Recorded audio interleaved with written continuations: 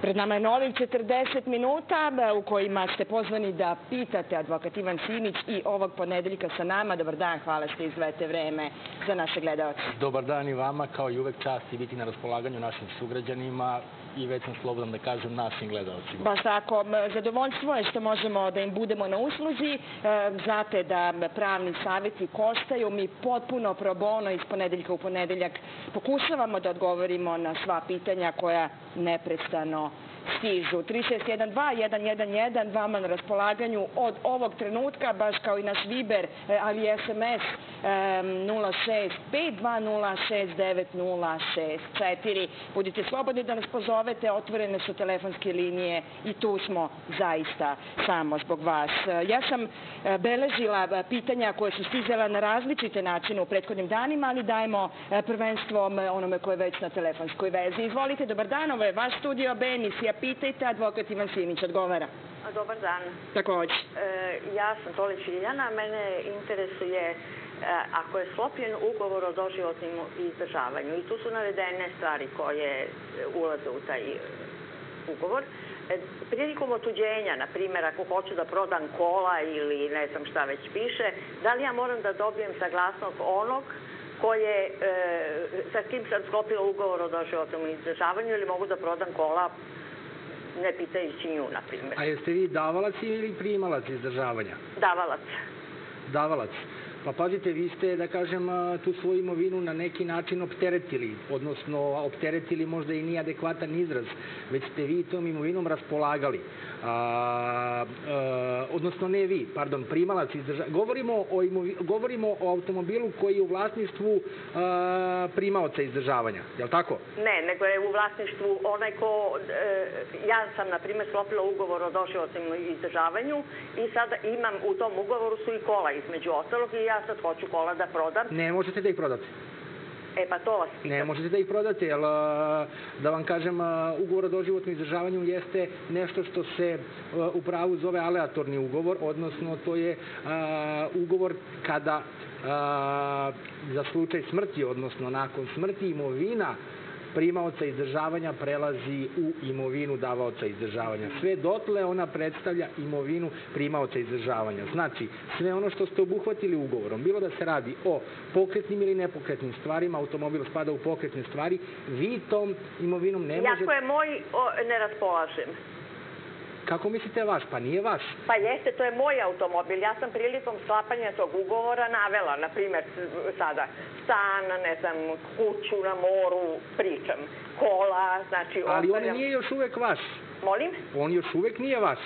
Kako on će, on će biti vaš nakon smrti primaoca... Pa ja dajem, ja sam sklopila ugovor, na primjer, sa mojom sestričinom i sve njoj ostavljam, ali moja su kola ali, znači, na mene vi ste, vi ste, znači, vi ste znači primalac izdržavanja, ne davalac. Pa da, da, da primalac.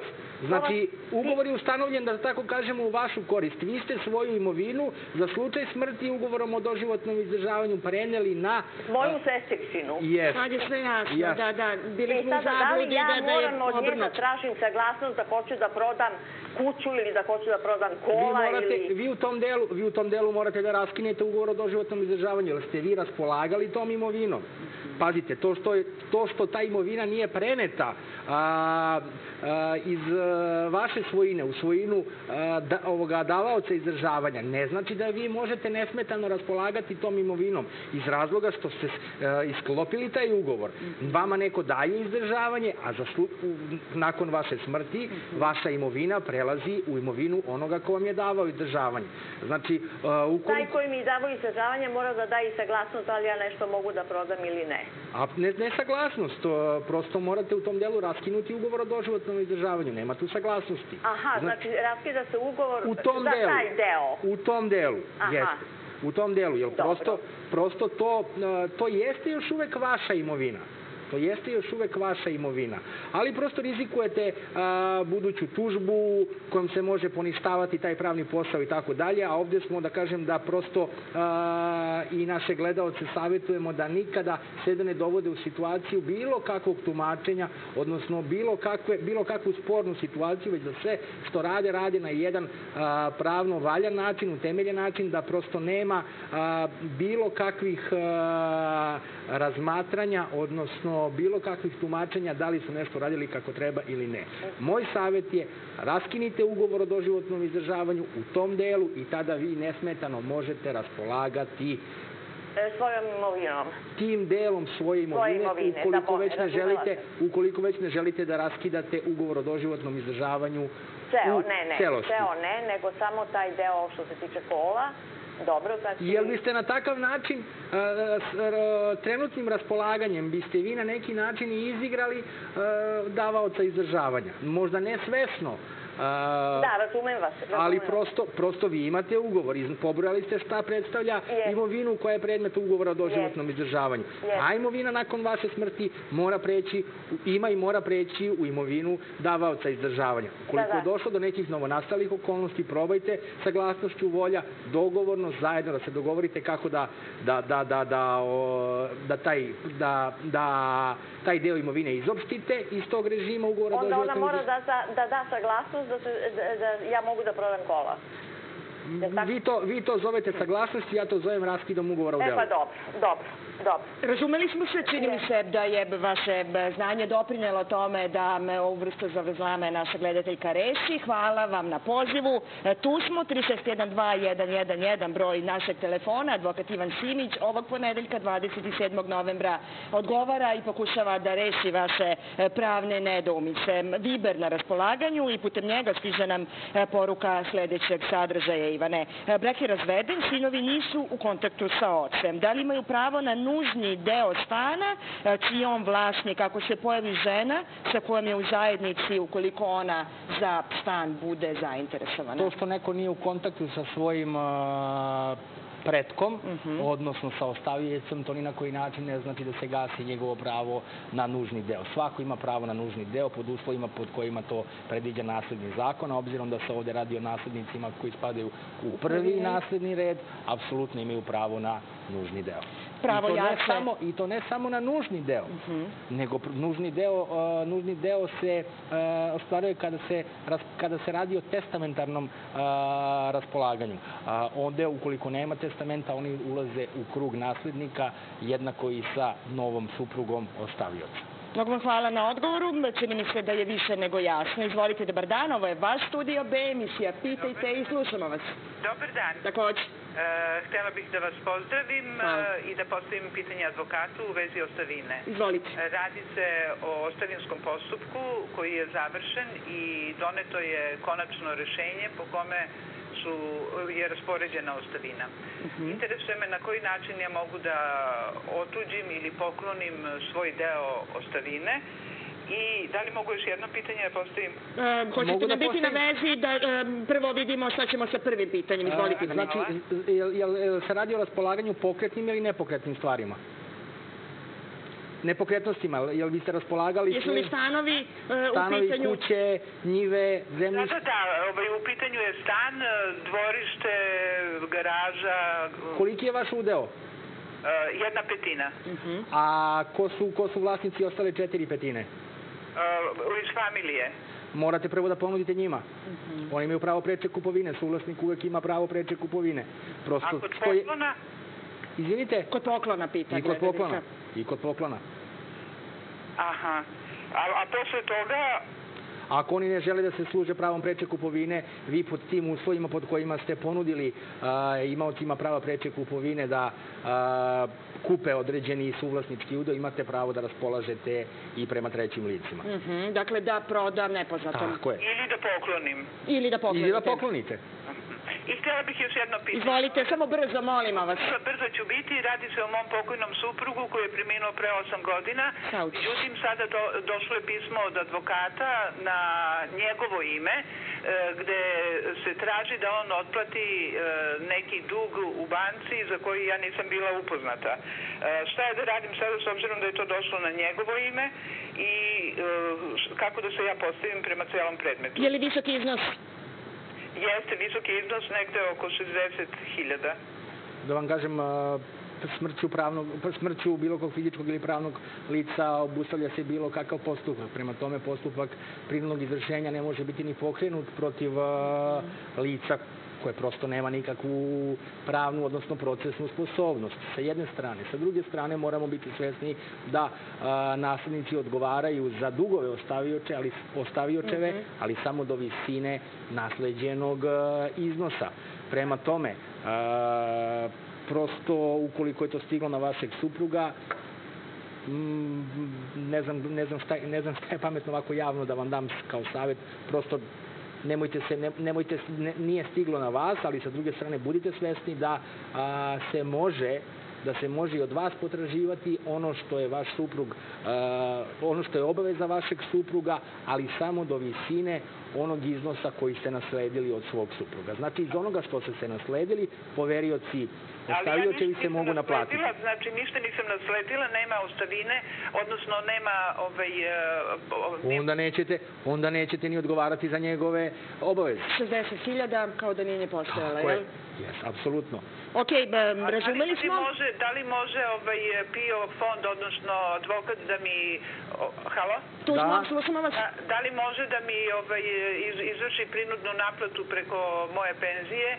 Ovaj, A kako kada niste vi, jeste li, jeste li vi dužnik, jeste li vi obveznik, da li ste potpisali nešto, da li prosto... Ne, ništa nisam potpisivala, niti sam bila upoznata sa time. Pa prosto nema, znači ako vi niste... Nema osnova. Nema osnova. Osim, opet osim, ali to je, da kažem, pretpostavka i to je malo složenije pravno pitanje, ukoliko taj dug a, nije nastao po osnovu da kažem, kao što u zajedni, imate sticanje po osnovu zajedničke bračne tekovine, mm -hmm. tako i bračni drugovi odgovaraju ne, ne, ne, i za obaveze. Ako je to upotrebljeno, ako je to upotrebljeno, na primjer, za potrebe zajedničkog porodičnog domaćinstva, hipotetički može se potraživati od vas, ali smo otišli suviše predaleko, prosto mislim da ovde imamo jednu uh, vrlo jasnu situaciju, vaš pokojni suprug ima obavezu, vi od vašeg pokojnog supruga ništa niste nasledili i prosto ne bi trebalo da uh, imate bilo kakvu obavezu obavezu prema njegovim poveriocima. Čini mi se dobra vez za vas, hvala na pozivu. E, tu smo... se, prijetno. Hvala, srdačan pozdrav. 3612111, vama ponovo na raspolaganju od ovog trenutka. E, evo, novog pitanja stiže nam putem poruke. E, morali se imati potvrda da je stan kupljen od izvođača u celosti izmiren, kao posebna potvrda pored kupoprodajnog ugovora. Zahvaljuje gledalac. Zavisi šta piše u ugovoru o kupoprodaji. Da li je klauzula intabulandi uslovljena, -hmm. da li je klauzula intabulandi uslovljena, da kažem, potvrdom o izmirenju kupoprodajne cene. Ukoliko nije, Ukoliko nije, onda vam potvrda kao poseban akt nije potrebna. Ali, ukoliko jeste, onda vam je potreb, potvrda apsolutno potrebna.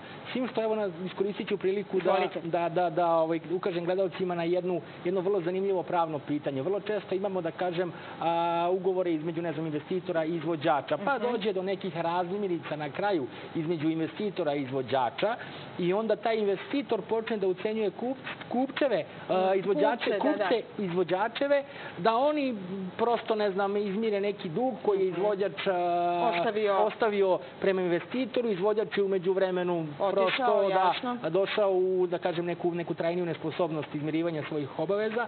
Naši gledalci trebaju, moraju da znaju da a, odnos između investitora i izvođača uh mhm. -huh. jeste da tako kažem, originarni način sticanja, a ne derivatni. Šta znači, to znači? To znači da se radi o stajanju, mešanju, da jedna stvar, to je sada termin iz teorije stvarnog prava. Mhm. Znači, praktično ne radi se o derivatnom načinu sticanja. Nije nešto preneto od strane investitora na izvođača, već su oni nešto zajedno gradili, spajali, mešali, stvorili jednu novu stvar mm -hmm. zajedno i došlo je do originarnog načina sticanja.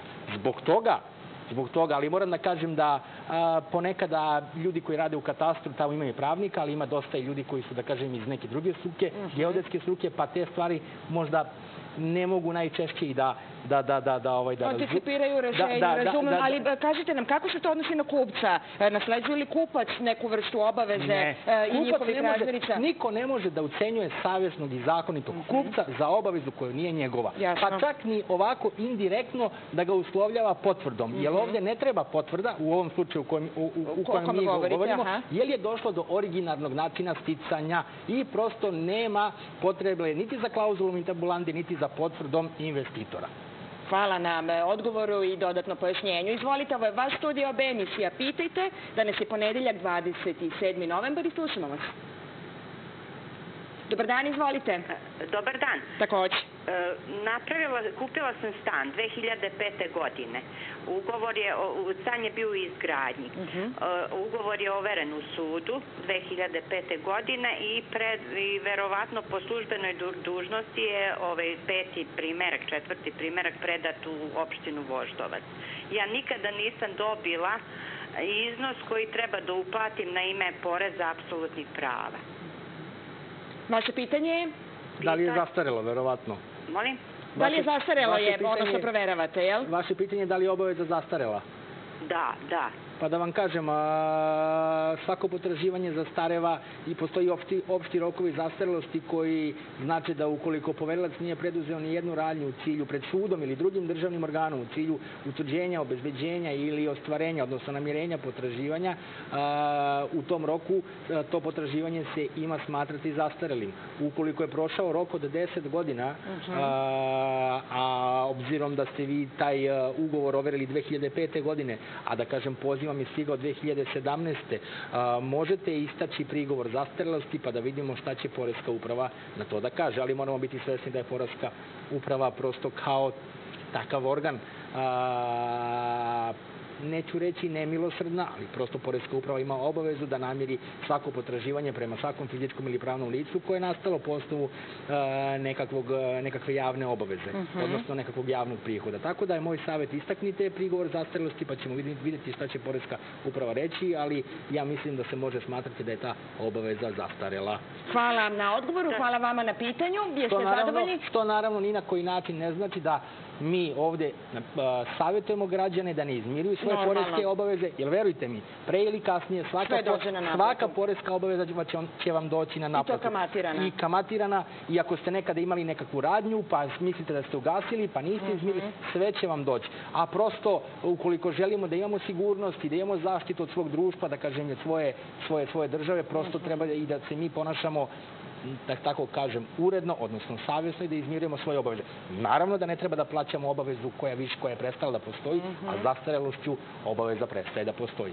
Hvala vam na odgovoru. Aleksandar nam se javio pre, mislim, 14 dana. U jutarnji program Pet pitanja, pet gledalaca, naša redovna rubrika. E, I izneo problem, uputila ga je moja koleginica na nas. E, On nam sad postavlja isto to pitanje. E, Pošta je greškom službenice ST poslala 73.000 dinara na njegov račun. On je podigao novac, e, očekivao je neku vrstu uplate, potrošio 73.000 dinara i e, ispostavilo se da je reč o greški službenice PTT-a. Novca više nema. Pitanje je šta da čini. Aleksandra, evo, evo odgovora za vas. Slušamo da vas, izvolite. da vam kažem to što je to što je to što je poštanska službenica pogrešila ne znači da vi da kažem možete tek tako potrošiti ok očekivali ste novac ali ste ga primili bez osnova Mhm. stekli ste ovde stekli ste nešto bez osnova to se u našem obligacionom pravu zove odnosno predstavlja institut sticanja bez osnova ukoliko Mhm. ste nešto stekli bez osnova pravnog ili bilo kog drugog osnova prosto vi to što ste stekli morate da vratite onome od koga ste to stekli. U suprotnom rizikujete da budete tuženi za sticanje bez osnova i da u postupku namirenja, odnosno u postupku realizacije tog zahteva, vi platite i taj dug, i zakonsku zakaznu kamatu, i sve troškove sudskog postupka. Ukoliko govorimo o savjesnosti i urednosti, a mi ovde, Jovana, govorimo uvek e, sa stanovišta da naši sugrađani, odnosno svi naši gledaoci trebaju da se ponašaju savjesno, ali isto tako da i mogu da očekuju da njihova prava budu zaštićena.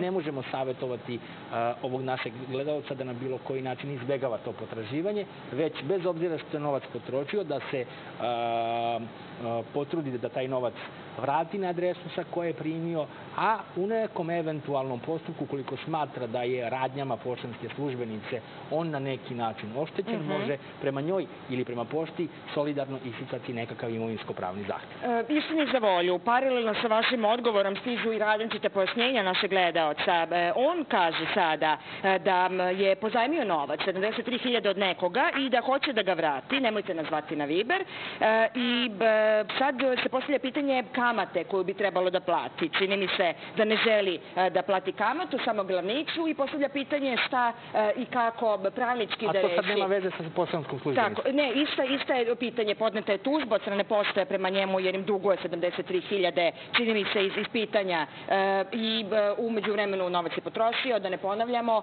po, e, postavlja se pitanje kamate, on bi glavnicu da im vrati, shvatio je da, vam novac nije bio njemu je- namenjen. Da vam kažem, e, prosto e, kamata je prosto zakonski osnov. Mhm. Uz svako glavno potraživanje idu ta takozvana sporedna potraživanja. Mhm. Kamata jeste sporedno potraživanje propisano zakonom i vi ukoliko je vaše potraživanje dospelo, a datum, odnosno moment dospeća se različito određuje, ali postoje pravila da sad ne, ne opterećujemo Mhm. Da i kažemo, ostale gledaoce, time, da.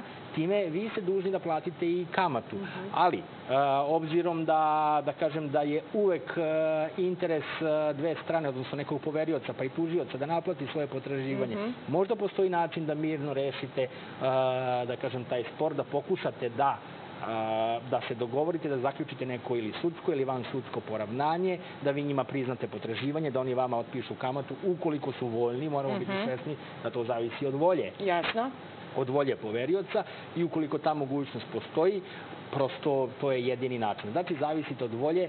Volje, e sad jedino što mogu da posavjetujem jeste da možda eventualno uz neku adekvatnu pravnu pomoć vi možete malo da otežate u sudskom postupku namirenje tog potraživanja, pa tada da na jedan indirektan način negdje i motivišete poverioca da se, zažmuri, da, da. se malo da se odrekne da kažemo tog svog po- sporednog potraživanja već da naplati isključivo glavno potraživanje. Em, to zahteva dobrog advokata, jedan takav je b- pred vašim Nemojte- očima. Nemojte da istane da se preporučujemo. Ne, ne, moje je bilo da kažem, vaše da, da to prokomentarišete. 3612111, e, studio B, emisija Pitajte izvolite, slušamo vas.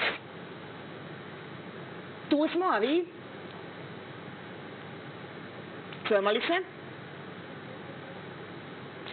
Teže ide sa uspostavom ove veze. Čitam, tu smo, izvolite. Halo, Dobar dan, slušamo vas, izvolite, advokat Ivan Simić. E, dobar dan. E, ja sam htjela da postavim pitanje. Čujemo vas, dobar dan, izvolite. Da, htjela sam da postavim pitanje vezano za legalizaciju. Kažite, Da, ovako, ovaj, e, moj suprug je na osnovu odluke većine stanara, kad kažem većine stanara, mislim površinske ovaj, e, površine stanova u tome prostoru, ovaj, e, dobio je e, deo zajedničkog prostora na stanovanje. I ovaj sada je ovaj u međuvremenu se on razbolio ništa od toga nije uradio. U međuvremenu ovaj 20, e, 2007. godine posle njegove smrti e, taj prostor pripadao, pripao je meni.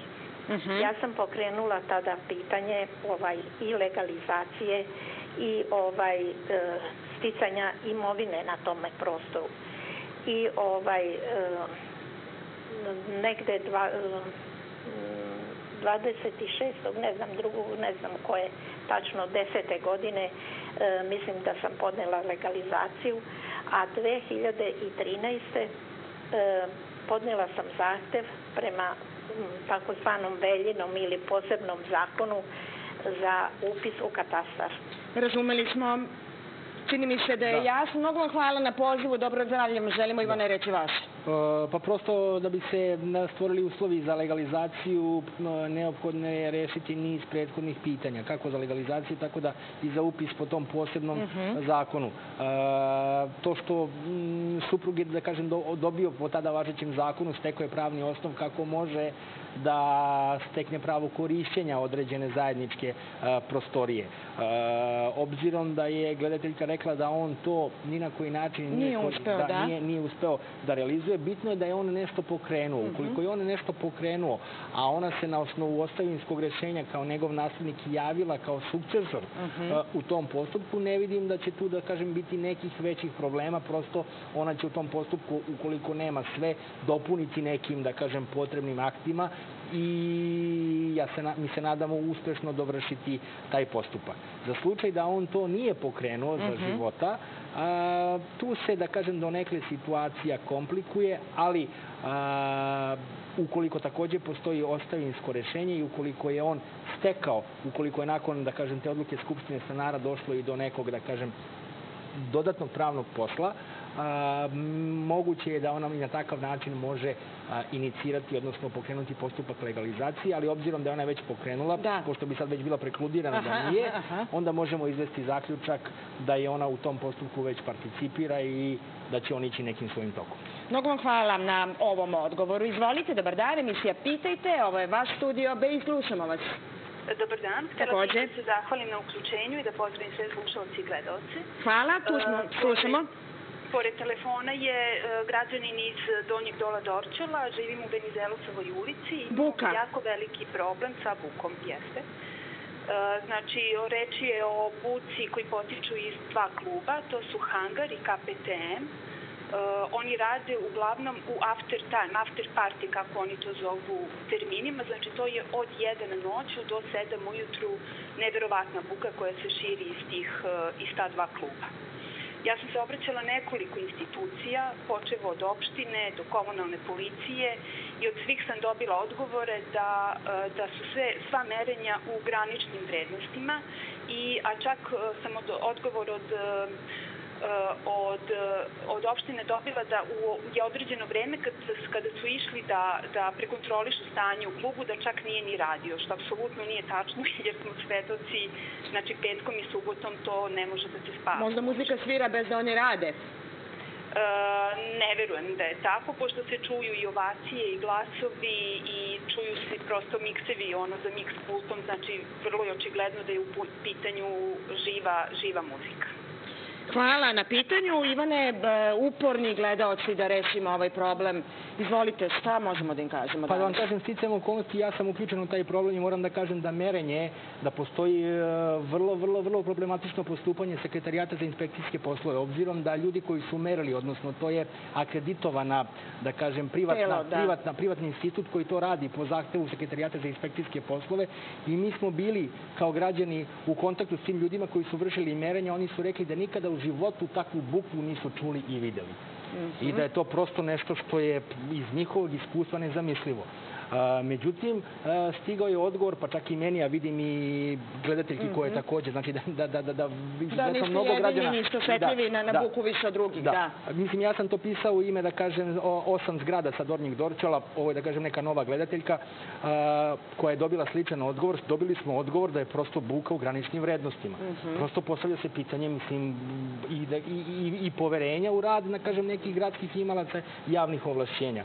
Prosto koristim, da kažem, i ja ovu priliku da apelujem na nadležne da se prosto na malo podrobniji način pozabave problemom najlojalnijih svojih građana. Jer ovde se obraćaju ljudi koji prosto Su poreski obveznici ove zemlje Ovo poreski i koji ležu na vreme, ustaju na vreme, hoće da ustanu subotom da odu na pijac, Mhm. hoće da prošetaju svoje unučiće, hoće da spavaju normalno petkom i subotom, Mhm. da se odmore, da mogu prosto, ne znam, od narednog ponedeljka do sledećeg petka da, Da funkcionišu funkcionišu, da rade i da prosto budu normalni građani. Nigde u svetu, ni u Moskvi, ni u Beču, uh, u centru grada nemate takve objekte i ne možete se pozivati da oni nisu u stambenim zgradama. Mhm. To što nisu u stambenim zgradama im ne daje za pravo da maltretiraju okolne stambene zgrade.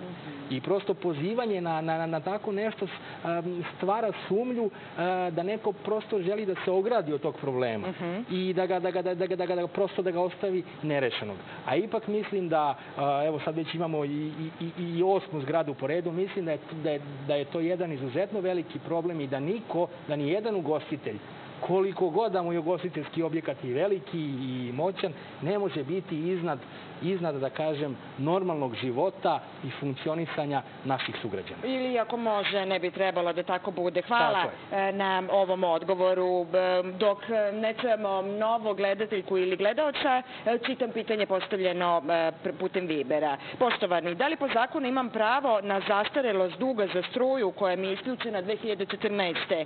e, godine, a da nisam dobijao račune ni opomenu? Napominjem da u toj kući ne živim, e, a rešenje o nasledstvu sa adresom stanovanja predao sam EPS-u.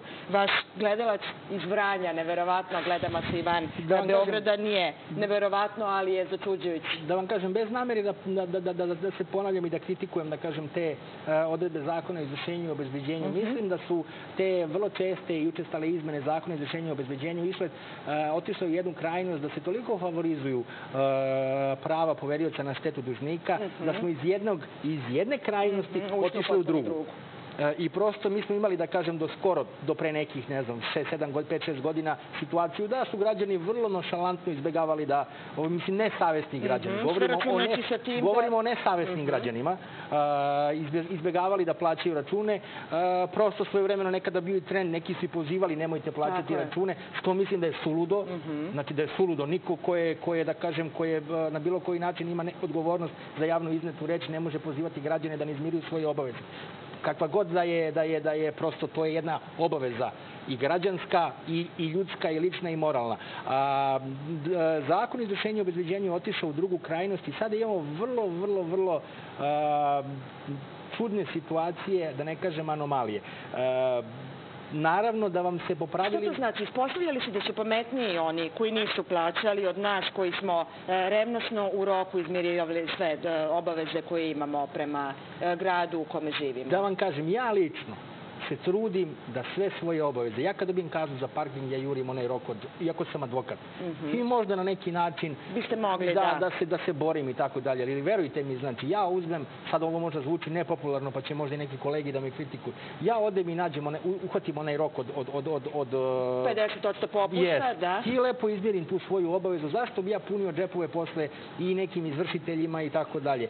A, ne mogu da kažem da je neko pametniji, mislim da je a, u životu najvaj, najva, najvažnije da imate mirnu glavu i da prosto znate da, ne, da, da, da nikom ništa ne dugujete, da vas glava ne boli. Sa druge strane, a, ovaj zakon o izvršenju i obezbeđenju derogira određena prava građana, kao što su pravo na zastarelost potraživanja. Evo ja sad imam situaciju da je jednom našem sugrađaninu stiglo a, na naplatu rešenje izvršenju a, izvršitelja, iako on to rešenje izvršenju nikada nije primio, nikada nije potpisao. Umesto njega to je potpisao neko drugi.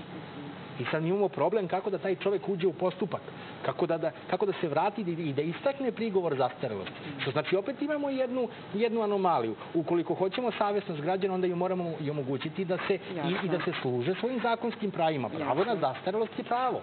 Ako poverilac nije u roku pokrenuo određene postupke, to je pokazatelj njegove nesavjesnosti. Ali ne možemo da kažem nekim izmenama i nekim zakonskim rešenjima da su se preklapala jedna druga. Verujte mi da ja ne mogu da pohvatam sad koji, Da zakon, razvijate, koji da. zakon treba da se primeni. Potraživanje je nastalo ne znam ti ni ja kad, krenulo po jednom zakonu, došao drugi zakon, došao treći i, i, i, i na koji način ćemo da, da, da posmatramo ovaj pravila, pravila dostavljanja. Naročito imamo situaciju, čovek nije, nije nikada primio. Ko je to potpisao u njegovo ime? Ko je to potpisao u njegovo ime? Znači, izvršitelja baš briga, on će da kaže, "Fu, potpis ima, to si ti, nije moj potpis, pa šta ti radim? Što nije tvoj potpis? Kako da se vratim u postupak? Ne, može se vratiti u postupak.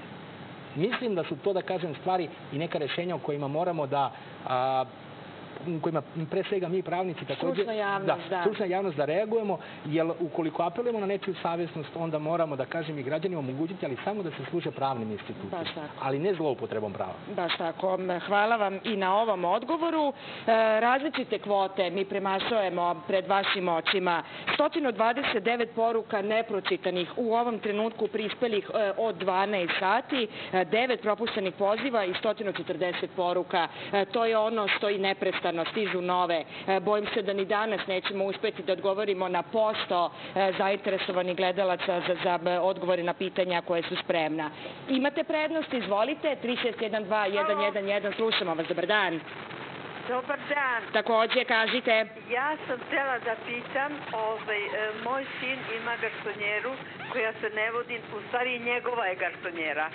Ali, kad je bio Šešeljev zakon, kad nije mogao niko od drugih nacionalnosti da kupi nekretnine, moj e, e, e, ga- garsonjera delio se tada sa bratom, e, pre- prepisana je na njegovu pokojnu ženu. I sad njegova garsonjera se vodi na pokojnu bratovljevu ženu. Kakva su njegova prava, šta on može da uradi? Hvala na pitanju, Ivane. Pre svega ja ne volim da, da, da, da personalizujem i nikada, nikada niste ni mene čuli da, da, da, da nikada na, ovaj, ne personalizujem i probleme koje ja kao građanin imam, tako da bih eto apelovao i ovom prilikom da ne personalizujemo probleme, da se ne pozivamo ni na ovaj ni na onaj zakon. Zakon kakav je bio, bio je, važio je, koga je doneo, doneli su ga, da kažem, legalni, legitimni državni organi, vlasti, da. u ovo ili u ono vreme. A, prosto, ukoliko je ta garsonjera sada u vlasništvu, ako sam dobro razumeo, bratovljeve sestre Tako ili je. žene, Žene, Supruge. Suprug, Da. supruge. Mhm. A, jel ona ima pravo korišćenja ili ima pravo vlasništva? Ona je umrla. Ona je umrla. Da. A jel, jel, jel je preneto pravo, pretpostavljam da je preneto pravo korišćenja, ukoliko govorim... Na nju, na nju se vodi garsonjera. Kao korisnik on, on ili kao korisnik? garsonjeri, a to je garsonjera stvari njegova, ali na njeno ime. Dobro, jel ima, Razume ima, ima, li, li, a, ima li brat pored supruge potomaka?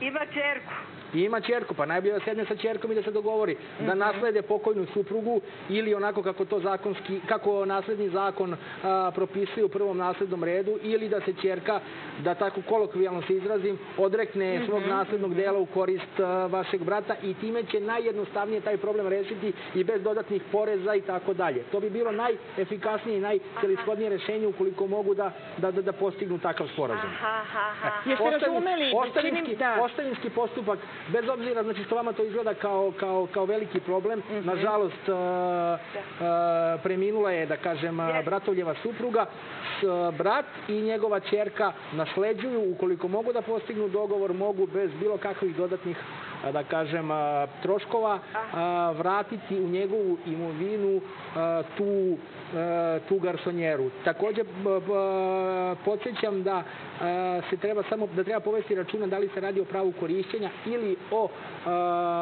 pravu svojine. Ukoliko se radi o pravu korišćenja, nakon što se sprovede ostavinski postupak, konverzijom ćete pravo svojine tako je. E, hvala vam puno.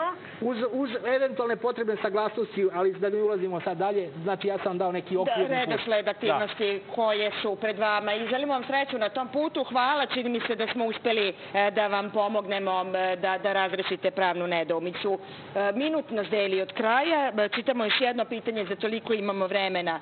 Da li testament overen u sudu jeste dovoljan za sticanje prava svojine na nepokretnost, s obzirom na to da sam ja jedini naslednik, pita nas gledateljka. A, testament čak i ne mora da bude overen u sudu, postoje različiti oblici testamenta, naravno da jeste, a, ukoliko je jedini naslednik, znači niko ne može isticati pravo na nužni deo, to je osnov za sticanje prava svojine kada se ovaj testament proglasi. U ostavinskom postupku, morate ga proglasiti, nakon proglašenja donosi, na- nakon proglašenja ide rešenje o nasleđivanju i sa tim rešenjem o nasleđivanju vi se knjižite, odnosno upisujete u javni registar nepokretnosti i time stičete konačno pravo svojine i stavljate tačku na taj, da kažem, eh, postupak.